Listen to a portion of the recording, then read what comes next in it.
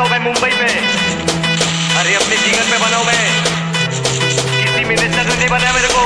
अरे तेरे police station जाता हूँ ना तो सलाम ठोकते तेरे सब लोग खड़े होके। ये समझाना इसको, समझाना।